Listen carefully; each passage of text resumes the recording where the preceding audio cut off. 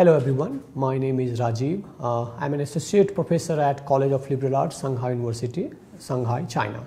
Today I'm going to talk about India-China relation, past, present and future. Uh, before I begin, let me go back into a little bit history about India-China, what I call it civilizational connection. Uh, we all know that both India and China are neighbors and oldest civilization in the world and both have fascinated each other culturally, even uh, civilizationally over the past two millennia. Across these centuries, two great civilizations have continuously communicated with each other and until recent times had been a, seen a very peaceful coexistence for over 2000 years except in 1962 and then we have seen uh, some uh, border transgression in recent years. Now, what fascinated China? We have to uh, think over, and, and that comes very naturally that we have to see that what is that fascinate the Chinese most. And when come to India, in recent days, uh, the Indian IT is one of the big birds' buzzword in China. When we talk about IT, all Chinese have a very soft and they are kind of like um, they appreciate the Indian rise in IT sector. But before that, we have seen a Buddhism, a Buddhism uh, disseminated into China uh, in a Han dynasty during the first century AD. Uh, we have seen there are um, monuments, there are like buildings of White Horse Monastery to accommodate two highly proficient uh, Buddhist scholars monks from uh, India. Uh, we have also uh, seen and we have also know the history tells us that many Chinese scholars in search of wisdom and deeply motivated by the quest of knowledge undertook some of the most arduous continental journey to the India. And that journey and we all know about uh, um, the monk Xuanzang traveling from China to India during the uh, and then visiting India, uh, uh, like Patliputra, Lumbini, and all this. Uh, and then this journey of Xuanzang has been um, kind of converted into a, a fictional a story uh, that is one of the classic in China known as a journey to the uh, west.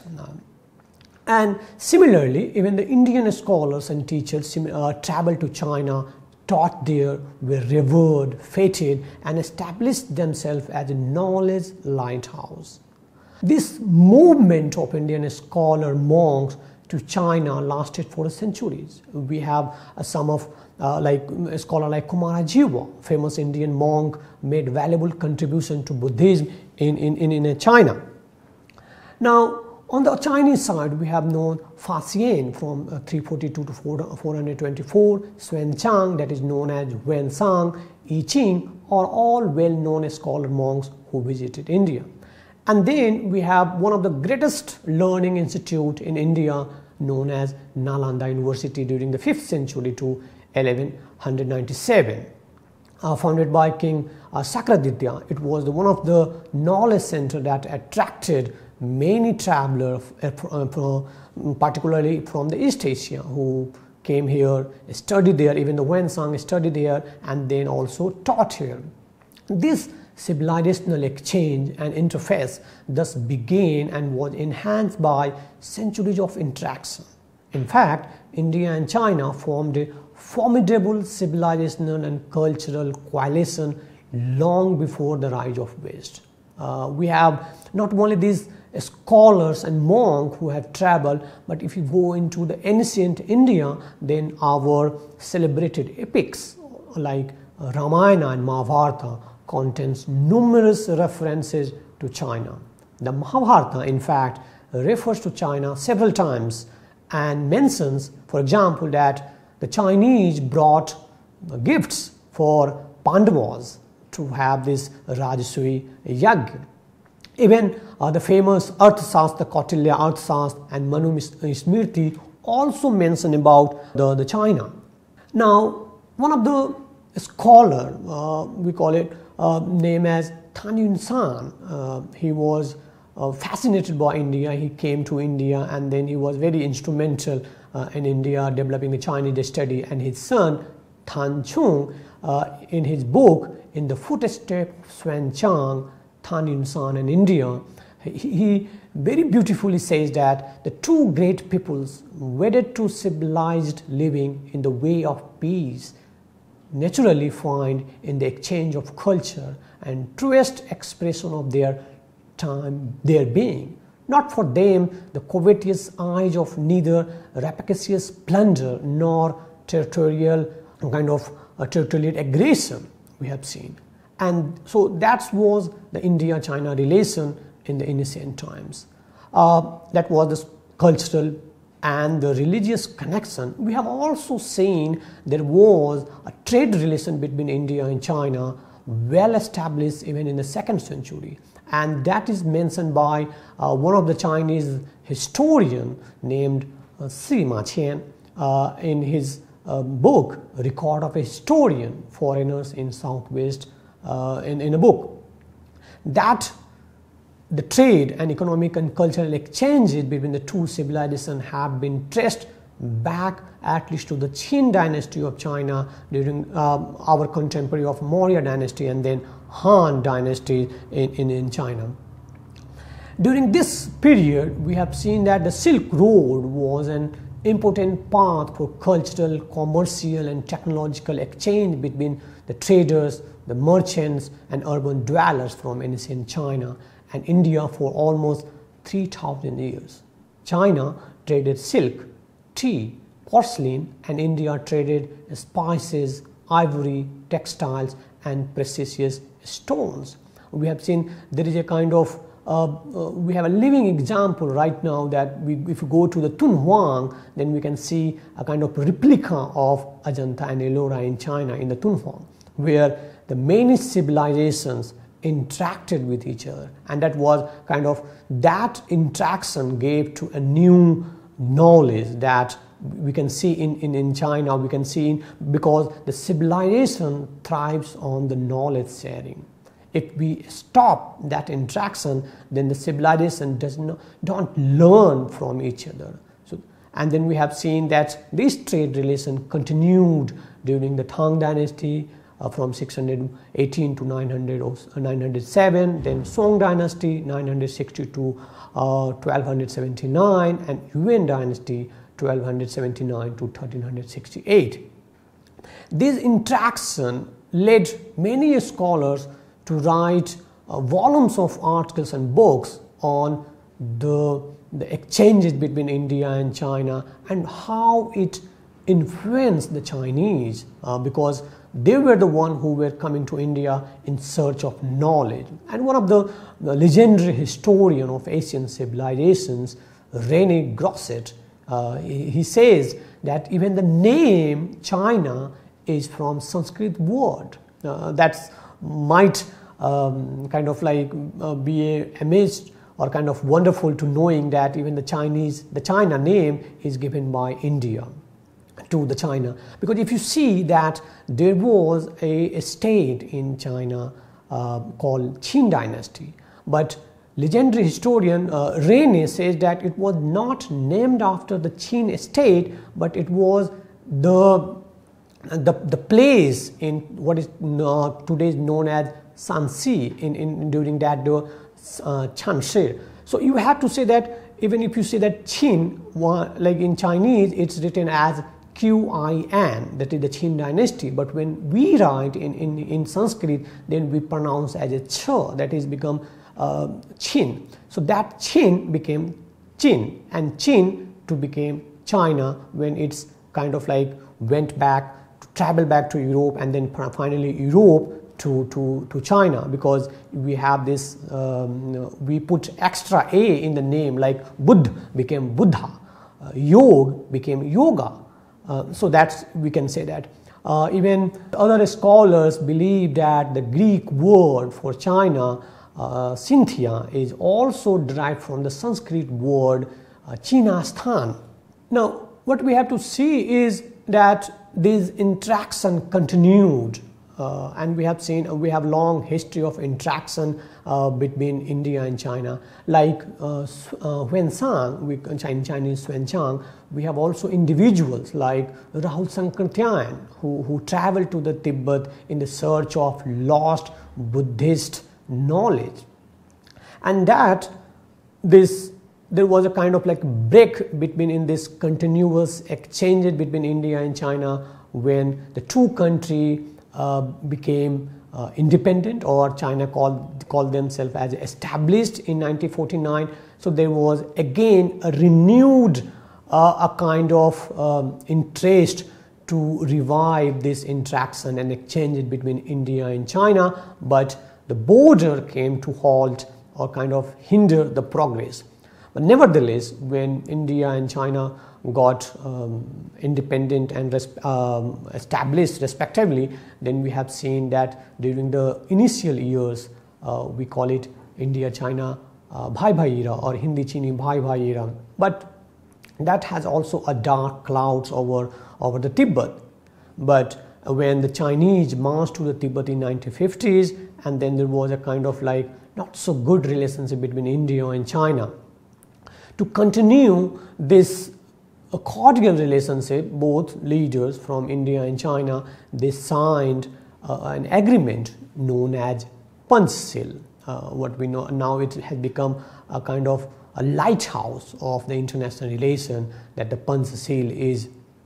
Uh, and there, from the Panchshil, we have seen that uh, because it was essential that the two countries respect each other's territorial integrity and sovereignty on, and the China was like the India should not uh, interfere in the Tibetan issue, so they signed uh, this uh, Panchshil agreement. And uh, I don't need to go into the, this uh, details about the, the Panchshil agreement.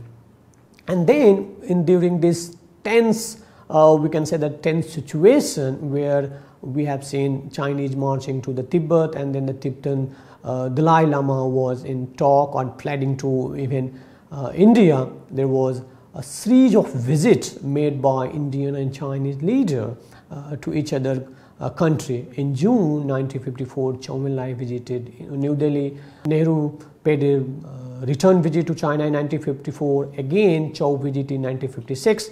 And then in 1959, Dalai Lama came to uh, India. We can say that they fled to India, and, and, then the situation became so tense. To ease this situation, again, Zhou uh, visited India to in 1960 to, to cool down the temperature, but it, uh, it was not a successful. And then we have seen that we have this a border dispute uh, arising uh, between the India and China. But before this, uh, the India and China into the new avatar, we have this uh, British India had this agreement with China in 1913 14 similar agreement, but the Chinese uh, don't recognize. Uh, they uh, they said uh, Tibet doesn't have right to enter into an, any agreement, so they um, outrightly reject this agreement. Uh, and then you have this border between India and China and the McMahon line. So thereby, this Chinese never recognize, formally recognize um, the McMahon line, and so there is a, a kind of a border dispute between India and China. And then we have this Aksai Chin, which is controlled by uh, Chinese, and then we have this Arunachal Pradesh uh, disputed. Uh, Chinese disputes this territory as known as what they call it Southern Tibet. Now, before I go into detail of this border dispute, we have to see that these border disputes are not in one sector. So, for sake of studying, analyzing this border dispute, we have these three sectors. The one is this is uh, eastern sector Arunachal Pradesh. We have this uh, middle sector in Himachal Pradesh and Uttarakhand, and then we have this uh, western sector in uh, Jammu and Kashmir uh, and Ladakh. In the eastern sector, Chinese claims 90,000 square kilometer of territory, including our state of Arunachal Pradesh, what they call it southern Tibet. In the central sector, our boundary disputes is along Himachal Pradesh and Uttarakhand uh, of India. And then we have seen western sector, Aksai Chin, controlled by uh, 500 square kilometer. And now we have seen this, uh, the current uh, Ladakh standoff or stalemate is uh, going on in this sector, in Ladakh sector. But there was an attempt to resolve this border disputes and that uh, started with Nehru and Zhou Enlai. Even the Zhou Enlai uh, said to offer the package deal.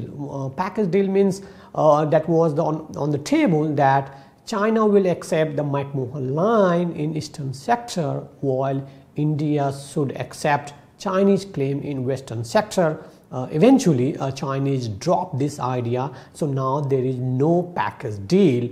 Uh, and Chinese uh, kind of refuse to say that there is a package deal. Now they are um, saying that there should be a kind of like uh, sector by sector deal in eastern sector and then we have in the western sector. So that's the package deal is no longer on the table. And during this period, we have seen in the border war that started on October 20, 1962, and then we have seen the all relationship came to the halt. Uh, we cut off our diplomatic relation with uh, kind of uh, China, and then in during this period, that was the period also we have to keep in mind that was the period of Cold War. So in 1964, um, China um, tested nuclear and so we have this uh, we also uh, try to have this nuclear uh, test in 1974 uh, india signed a friendship treaty with soviet union in 1971 and we have seen that and, and then there was also um, Chinese relationship with Soviet Union was not going so smoothly. So there was a kind of like a Cold War uh, mentality going on. So the border war uh, was there a kind of like border talk was went to the back burner and we have seen uh, some minor clashes in like Cholai incident in 1967 uh, Sumdurong Chu is um, a class in mid 1987 then we have seen in Doklam uh, in 2017 and then we have Ladakh in 2020 now so I, I, don't want to go into what after 1962 to 1988 that was a period where what I call it personally is a uh, in, in terms of people to people contact is lost generation because there was no exchange between these two countries uh, in, in terms of like people to people contact or like economic trade uh, maybe a little bit uh, um, a kind of a very uh, minor exchanges between the two countries but it all started to again gain momentum when Prime Minister Rajiv Gandhi visited uh, China in December 19 to 23 in 1988 and from there a kind of we have seen a momentum in relationship that we wanted to again uh, revive this relationship. And then we have signed a various uh, instruments or agreement between uh, India and China to ensure peace and tranquility along the line of actual control uh, in, in India-China border. We have signed in 1993 then we signed another uh, agreement in 1996 that is confidence building measures in military field along the line of control. Then we signed uh, agreement on border defense cooperation in 2013 uh, before that, we have also signed uh, modalities for implementation of confidence building measure in April 2005. And during the Prime Minister Atal Bihari Vajpayee, I think it is uh, one of the best confidence building measure and mechanism to resolve this um, India-China border dispute was to have this special representative talk on India-China border in 2003 uh, that we have signed with and that is already uh, we are still continuing that uh, special representative talk uh, in 2019 and we have not seen in 2020 and 2021 for COVID and India-China tension along the border. Now, so that's a India-China, the dark side of India-China uh, relationship. But we have also some positive and constructive side of India-China relationship is that is the Indian soft power that we tend to always forget that is the Indian Bollywood, how famous Aamir Khan in China is uh, we have to like see or we have to examine that how the Aamir Khan is, is famous in China. And but we have failed to translate this our gain in soft power into a kind of uh, uh, maneuvering and talking with the Chinese to gain certain positive vibes in a relationship. We have simply failed to, to translate this whole soft power or even civilizational connection between India and China that is of, Buddhism or for yoga or for yoga. We, we are not yet able to transform or translate these soft power into a meaningful uh, means to uh, to our maneuvering capability. So we need to have this soft power translating into in our gain, but we have failed because there are like if we see that how China is investing in soft power. Uh, if we see that the Chinese have opened the Confucius Institute um, around the world, of course that is under um, continuous attack uh, or charge that Confucius Institute is a kind of a center for espionage. Uh, but that's again, that's a different story. But the point here is China is investing millions of dollars to get a soft side of Chinese power.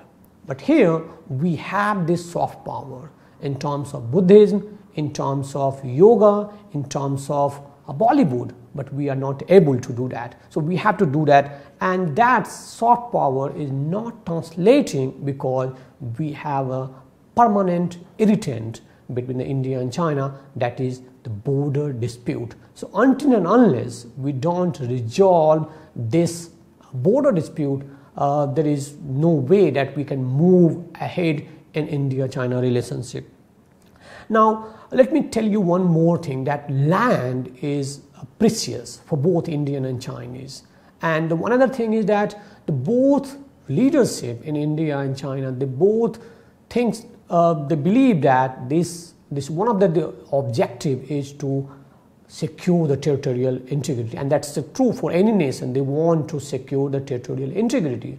But it's also needed to the both the leaders need to talk uh, in a very peaceful and calm manner that how to resolve this crisis. Because this is going to come over and over again and we will see what we have seen that after the Doklam in 2017, we have uh, Prime Minister uh, Narendra Modi visiting China, uh, President Xi Jinping visiting India. So we keep doing a reset in India-China relationship. In fact, what I call it, we have we are trapped into this reset business in India-China relationship. We don't need to do reset, but we need to have this overhauling the whole relationship. We need to kind of reorient the India China relationship to make a meaningful uh, uh, dialogue. But that's easier said than done because we have this strategic uh, objectives and a strategic orientation also because this is never in the history when the two countries which, is, which are our neighbors setting the boundary rising and emerging simultaneously because both India and China wants to become a superpower or emerge as a what they both call it to revive their lost uh, power. So both countries are trying to regain and then there comes a kind of a strategic challenges to both countries to settle the disputes and continue together on the, the path to what Spain says that Asian centurion. Uh, but again, have, again, easier said than done. Uh, now we have seen that economic cooperation between India and China. We have uh, roughly hundred uh, billion uh, dollar trade, bilateral trade between India and China. But this trade is not in favor of India. Uh, we have this. The trade is tilted towards China, that's a favoring China because we import more products than the Chinese. So this uh, trade is also not favorable to us and there is a lot of uh, the Indian side is trying to convince Chinese to open up the, the agricultural sector and the pharmaceutical because this is the sector or IT because this is the, these are the sectors where we have a strong um, capability to uh, match the export import imbalance in between India and China. Uh, but uh, this uh, again is, is again in, um, in dialogue level, not yet um, signed or there is like kind of a very uh, slow movement on this front also. But apart from this bilateral uh, economic cooperation the trade did also happen in 1991 that is one of the more i think uh, one of the significant um, departure or you can say that um, pillar uh, in India-China relation where we both trying to explore the new dimension in India-China relation. And that was opening the border between India and China for the trade. And that we have seen in uh, Lipulekh and Shipki La in Uttarakhand and Himachal Pradesh. Then we have also seen Nathula border for opening the trade between India and China. So let me conclude this uh, presentation by saying that we have traveled a long journey from 90 minutes, what I call it, from 90 minutes to 600 minutes. What that is means is when Prime Minister Rajiv Gandhi met Deng Xiaoping in 1988, the meeting lasted 90 minutes. But when Prime Minister Modi and Xi Jinping met, then that meeting lasted in, in Wuhan for 600 minutes. So we have traveled from 90 minutes to 600 minutes and that, that we can say that the both country were kind of trying to uh, look at the problems at the same time trying to resolve some of the problems. Then we have also seen that from we have traveled from US dollar 1 billion to US dollar 100 billion in our trade relationship. That's not a very small feat from 1 billion to 100 billion. Of course, that trade deficit is um, the trade imbalance is not in our favor, but that can be um, resolved. We have also cooperated on very global cooperation level like BRICS, climate change, G20, globalization, um, regional comprehensive economic partnership, AIIB, and then the dark side or the, the other side of this relationship is we have also seen the standoff from 7 days to 240 days from Daulat Beg Oldi in April 2013 to May 2013, 20 days, Demchok 7 days to Ladakh that is now 8 months long standoff. So this relationship what is, is a kind of like full of contradiction. So what I suggest to resolve this problem is, so the, if we see there are like three problems, I call it three body problems, boundary problem, China-Pakistan, Tibet and then we have a global politics that is a three body problem that one node is uh, keep rotating. So and then because of these problems we have zero mutual trust on the BRI, on NSG, on United Nations Security Council, Quad, South Asia, Indo-Pacific and India US. And then what I suggest is five mantras for better cooperation what the first is sensitivity towards each other. Core issues we need to have uh, people to increase people to people contact and then dehyphenating from india pakistan relationship into the in chinese policy making. Uh, then we can move ahead in our bilateral relationship. Fourth we need to resolve this boundary crisis boundary disputes. Otherwise it will keep coming into our relationship. Fifth is we need to explore and continue our international cooperation on various platforms. I don't need to go into all the details uh, because of the uh, lack of time and thank you for your attention.